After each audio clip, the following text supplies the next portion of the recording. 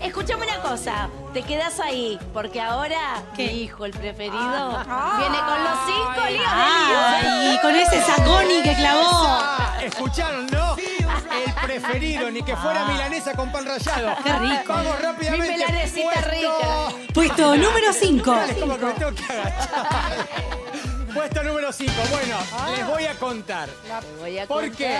Porque ayer, hace 48 horas, chusma chisme, diría Lucho Vilés, Ay. están circulando unos chats que en algún momento crucé con Carolina Pampita Ardoain Sí. hace muchos años cuando encontró a eh, Benjamín Vicuña con la China Suárez en plena acción. Vamos a ver cómo replicaba la noticia porque se ha viralizado de una manera increíble pero real. La Nación, Teleshow, Clarín, Popular, Ciudad Magazine Todos. y así tantísimos portales de todo el país. Vamos a ir a los chats con Pampita porque yo le escribí a leche, Carolina hoy Sí. y ahora les voy a contar la charla que tuve con ella. Corría el año 2015 cuando Pampita encuentra lo que encuentra en el motorhome, que es a la China y a Benjamín en pelotas teniendo relaciones. Pero Claro, la pregunta es, la manta de Nepal. la pregunta ejemplos, es, ¿por qué se filtran estos chats? Que además les quiero aclarar, yo no filtré porque cuando yo pongo lo que pongo, le pongo el arroba lío pecoraro para que nadie lo afane. Bueno, Carolina dice en esta charla conmigo, por las comidas de ella y Nacho con Benja, ella era la novia de su amigo. Los mismos de la película la expusieron por publicidad. Nadie sabía que esto había pasado porque el motorhome estaba a 200 metros. Yo quería que, que no se sepa nada. Me tuve que defender de las mentiras porque se empezaron a decir un montón de cosas de Carolina con Vicuña. Y acá fíjense lo que viene. ¿Por qué sale esto ahora a la luz con tanto detalle? Ni la miré. Mi pelea fue con Benjamín. Mis dos amigas estaban abajo y son testigos. Ella estaba en el motorhome con él, los dos solos. Benjamín estaba arriba de ella. Yo entré y él estaba Picante, arriba ¿eh? de ella, sin ropa. En toda la discusión, ella se quedó en la capa, en la cama, tapándose las tetas. Bueno, dice Pampita. Ahora, eh, me, me ha llamado mucha gente y la pregunta es, ¿quién filtra estos chats?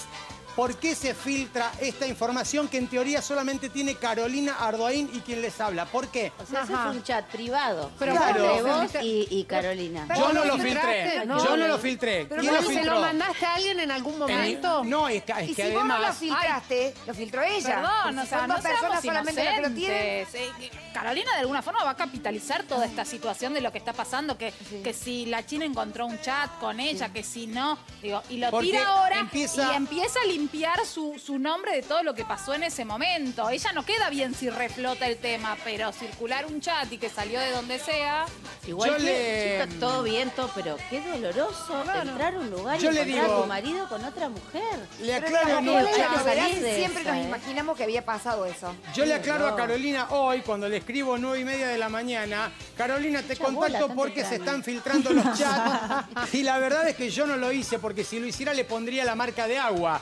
Leyó todo Carolina, le digo, me parece que hay alguien que está traicionando, averigua quién, por qué y para qué filtra estos chats que en teoría tenemos solamente Carolina y yo. Me leyó, visto eh, azul doble, Y no chau, respondió nada. está enojada con vos, No, ella conmigo. pensa- y capaz ella piensa que, Que se sí enoje con ella misma o con quien se los hizo filtrar, no Pero sé. para, sí, es- iba a poner un ejemplo po- poco Ponelo, grave. ponelo que A ver, a sea. ver. Es como cuando yo estoy con mi hijo Sí. y hay olor a pedo. No, no yo le es digo, igual. Juaco, yo no fui. y él me dice, yo tampoco. Le digo, hijo, somos dos.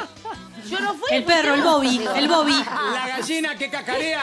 Puso el huevo. Eh, perdón, Carolina está empezando una nueva relación. Marcelo Tinelli, que la tiene contratada en su programa, le preguntó y ella, ni lerda ni perezosa, también quiso contar algo de esto. Vamos a ver Carolina con su nuevo amor, Robertito. Señores, está de novia confirmada. Fuerte el aplauso para la señora Carolina Pampita Ardoain. Felicitaciones, ¿la puedo felicitar por el noviazgo? ¿Lo agarró? Se llama Roberto, ¿Quién es? Ángel sabe más. es empresario gastronómico. ¿A dónde fueron? Al supermercado. Pero Roberto, ¿qué restaurante tiene Roberto? Muy lindo, acá en Palermo uno, otro en el centro. ¿Se come bien? Tremendo, bueno. ¿Cómo le gusta Ahí estar de está, novia? eh? Bien. Es buenísimo Sí. ese restaurante. Yo fui varias Así, veces. bueno, que sí, nos inviten.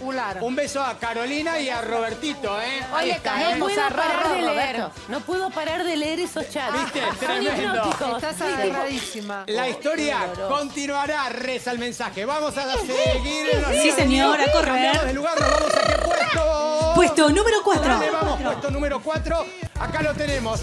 Karina Gilinek se sinceró. Escuchen No te la de puedo. Karina Primicia. Olga, que lo ha dejado a vuestro criterio. Y dice. Tendría sexo por dinero, depende de cuánto sea la oferta. ¿Qué tal, Y eh? bueno, Ah, no. entre la Listo, oferta chicos, la a juntar demanda. plata, entonces. Estábamos esperando que Karina Olga blanquee algo, sí, capitales, extranjeros. Yo Vamos también. a ver las capturas porque esto se eh, viralizó, bueno, en referencia a las respuestas que uno hace cuando abre este juego con los Ajá. usuarios, ¿no? Dice, Ah, hazme una no pregunta, lo sé hacer. ¿llevaste tu delfín? Sí, siempre en mi eh, corazón. dice, ¿no? Ahí está, ok. Eh, después dice, ah, en mi Carrión, carrión, en la carrión. valija. Que de acá la lectura es realmente imposible. Me alejo un poco. ¿Cuál es tu tanga preferida? Dice, eh, La que perdí perdí todas, todas. en el viaje. Me quedé sin. ¿Se la imaginan a Karina sin ropa Ay, no, ni interior? se me ocurre. No, qué asco, qué asco. No, no. A ver. Ahora, las perdió en el viaje. Porque Pero ¿y dónde las perdió? Está rota la cartera, chicas. Ahora les voy a contar porque está de viaje. Esperen que en un ratito tenemos un chat con Karina que le Ajá. ofrecieron casamiento. delfín Ahora es les voy a hermoso, contar. sabemos es divino. Escuchen esto, ¿tendría sexo por plata? Y depende cuánto. Si es un millón, Sí, claro. dice... De eh, usted. ¿Viste? Pero ahí le Ah, pagaría qué un linda millón. soy. Como ¿De la dólares? película. ¿Un millón de qué? De dólares, De dólares. De dólares. Un mensaje muy muy se va a vivificante. tener que buscar un jeque árabe, porque acá un Pensé millón que de había dólares querido poner nadie. un millón de ustedes. Para mí, para mí de usted, como que le- como dice las letras al lado, Claro. que decía las siglas del nombre. Pero, Cada eh, loco. Es una tipografía muy incómoda Muy rara. de Instagram Sí. que a Lío le cuesta leer. igual con... Vení a leer. Eh, la cuestión es que hoy le pregunto a Karina, quiero empezar a indagar. Eh, y vamos a un chat que tiene tres capturas que son realmente imperdibles con Karina Olga. Karina, ¿te casaste? Hola, amore, perdón, estoy en Europa con poca ¿Qué señal. tal? Pensé que iba a decir con poca ropa. Con poca señal y otros horarios. Conocí a alguien aquí en Madrid y me ofreció casamiento, pero Qué eh, eh, ¿se casa o no se casa? Lo estoy dudando, dijo. ¿Será, ¿Será un marqués? Tremendo, no sé, pero estando en Grecia pusiste que era tu despedida de soltera. Y ella me pone, hace casi tres meses que estoy viviendo en Europa, en España. Vamos al segundo. Dice, eh, le pregunto si se instaló allá y me dice, mis amigas quieren que diga que sí. Y me armaron una fiesta sorpresa, pero yo todavía no estoy tan segura de Qué aceptar esa es. propuesta de casamiento. Y le pregunto, edad, nombre, qué hace. Responde, no es conocido, es una persona simple. Seguro, No quiero re decir mucho seguro. porque cuando me mostré con alguien me fue muy mal en el Sí. amor. Ahora quiero hacer como Pampita. Mira, porque la veo a Majo muy Tener atenta. novios todas las semanas. Majo. ¿En qué sentido? Quiere ser como todos. papita. Bueno, a ver, Acabamos de ver los chats de No, Papita que dice que bueno, encontró al marido arriba A mí- de No mí sé hay si algo lo que quiero hacer hacer como como- A mí hay Pampita. algo que me copa porque el diálogo sería, Majo, ¿te casás? Mira, no sé, pero estoy re enamorada. Esa sería Claro, la contestación claro. lógica. No, ¿te casás? No sé, estoy dudando. ¿Pero te gusta, no te gusta? ¿Te Pero- lo querés, pero no lo claro, querés? bueno, Pero es Karina Olga, quiero que diga que No sí. se sabe el nombre. Claro. Claro, pero Eh, y se le hay una ofrecieron captura más. casamiento, pero está de novia, no se, no se entiende. Ella Porque dice que cualquiera te A un tipo muy normal. Conoció un cualquiera. tipo, a conocer un Simple. tipo Ah, no, muy El que se simple, quema con leche, el que se quema con leche. bueno, no había otro ejemplo. No, Eh, ay, ay, ay. del millón de dólares. Vos también, Carla. Bueno, la cuestión es que cuando ella dice quiero hacer como Pampita, esto de empezar a reservar. ¿Reservar, Pampita? Cambiamos de lugar, nos vamos a Sí, otro puesto de los cinco líos de lío, señores. Ay, cómo me nos la metemos en cuál, Dios mío. La Puesto número tres. argentina. Puesto número 3. Bip, bip, corre, corre camino. Bueno, eh, Charlotte Canigia se metió en la pelea de papá y mamá. ¿Qué dijo. Charlotte Canigia? Habló con Marcelo Tinelli, logró soltarle Marcelo Tinelli alguna palabra a Charlotte con Ángel de Brito y este es el material. A ver. La situación es triste, pero bueno. ¿La yo fuiste a ver a Mariana? Fui, fui. ¿Cómo la encontraste? Sí. No, bien, está bien. Y cuando escuchás a tu mamá hablar tan fuerte de tu papá, Mm, no sé, no opino. Yo ¿querés que vuelvan a No. estar juntos? sí, me encantaría, pero bueno. Tu hermano, entre las cosas que dijo, es que conocía a la novia nueva de tu papá. ¿Vos la conocés? No, no la conozco, no sé quién es. Pero no estaba ahí en el hotel que, que No, nunca la vi yo, no me interesa. Y de los juicios, de todo esto que se habla de los No, millones. tampoco me. No me meto, son cosas de grandes. Son grandes ellos. Yo soy la hija, no pinto nada. Y o sea. Ahí estaba Charlotte Canigia. pena a mí. Tiene razón. Me dan o pena sea, son chicos. cosas de mis viejos Sí. y lo muy tienen que bien, aclarar. bien. Hay un audio que. Es su mamá y Sí, su papá. Hay que estar en ese programa Sí. con esa cantidad de gente mirándote y poder decir es un tema de ellos, a mí que lo arreglen entre Ella está en el medio de los dos y banca a los dos padres y quieren que se arreglen como todo hijo. Pero eh, Ay, me dio ternura que- cuando dijo, ay, esto es lo que los hijos queremos, Y queremos claro, que los papás estén juntos. No, a veces no. Había un audio del, O sea que sí es verdad lo del papá. Había un audio del pájaro Canigia eh, que estaría bueno ponerlo al aire para que entiendan cómo tomó él todo lo que dijo Mariana Nanis en lo de Susana. ¿Está preparado, Majo? A ver, vamos a escucharlo.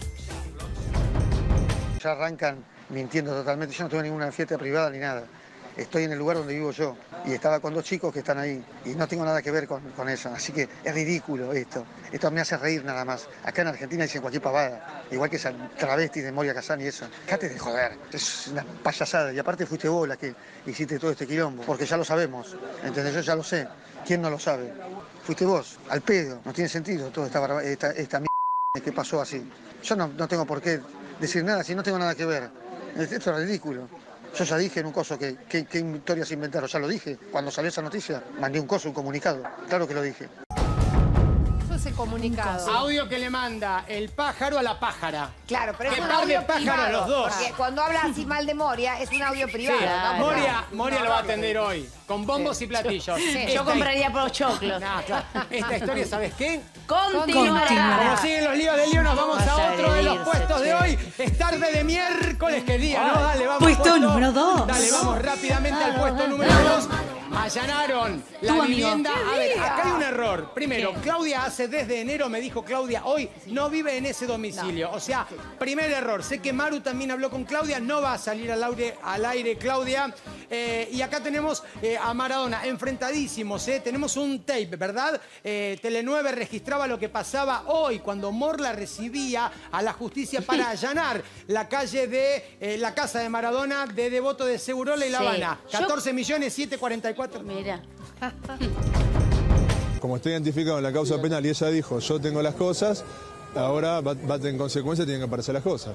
¿Diego sabe que en la calle Nazarre está viviendo la mamá de Claudia? Me- Acabo de cortar con él y me dio instrucciones de que se inicie un desalojo. No sé si sabe quién vive o quién no vive. Es un departamento de él que lo quiere tener vacío. Cuando Villafañe dijo en todos los programas de televisión que no te- tenía todas las causas cerradas, estaba mintiendo una vez más. Lo único que voy a decir es que parece un capítulo de Los Simpsons esto. Parece, parece que estuvo el gordo Valora.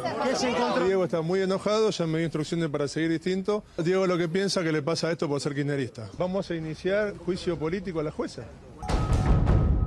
Y Maradona, ni lerdo ni perezoso, hablando de lo que decía Morla, eh, se expresó en las redes sociales. Acaba de terminar el circo que armaron en Devoto y fue más de lo mismo. Siguen sin devolverme lo que me robaron. Se ríen de la justicia y nadie hace nada. ¿Cómo puede ser que la jueza se siga preguntando de quién son las camisetas, los botines y los trofeos? Según Villafañe en este programa Pero- contó el año pasado que la causa, ella está eh, liberada y de culpa y cargo. Así que La no jueza entiendo. Carminati le había dado la razón a Claudia. Por Sí. eso, realmente no, me, no entiendo si esta es la misma causa de siempre, que la había ganado siempre Claudia, o es otra causa. Igual, pero acaba, porque acaba igual dos no temas, se ¿no? entiende. Sí, igual Maradona dice, acaba de terminar el circo. El circo que armó tu abogado. Claro, correcto. Sí, sí. Querido Diego, que, que hacete ver las amigas, la morla, no se te entiende nada. Cuando pero Es la dictadura nueva. Morla que hay había dicho algo- que iba a haber violencia hoy. ¿Te Hay acuerdas la violencia judicial que él, esta? él de alguna manera lo había está. cada vez se confirma más que es que Morla tiene un problema personal, más personal con Claudia que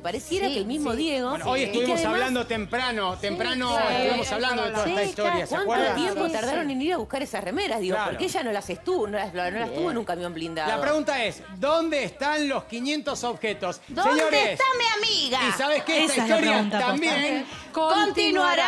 vamos a seguir con otro de los puestos de lío porque se viene un enigmático express. Ay, ay, ay. Alguien me dijo a los pedos, no sé qué querrá Puesto decir. número uno. Estamos muy Vamos, bueno, famosa pareja, les cuento rápidamente y, un- y en un minuto lo vamos a develar. Me llega el rumor de que esta pareja se estaba separando. Ni Lerda ni Perezosa, nuestra productora, que no le gusta meter el dedo en la llaga para nada, Nada, le es pregunta. Y la protagonista de la historia dice, pero si me parece que vamos a hacer todo lo contrario.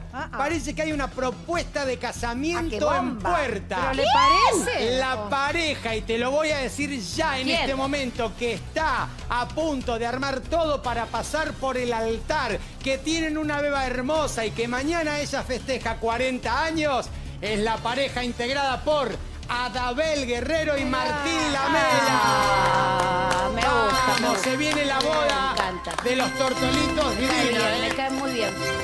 Habían dicho que se separaban, le consultamos justamente por eso y tenemos el audio de Adabel Guerrero que nos tira indicio de la boda. A ver, la señora que no tiene cuerpo. Ah, qué lomo, Dios mío.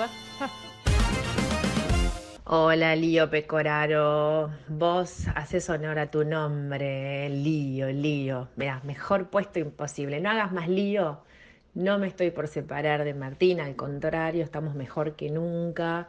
Y, y incluso estamos hablando de, de- de afianzarnos más todavía. Así que mira, si con eso no te paso un, un datazo. Bueno, les mando un beso. Hashtag datazo, te queremos.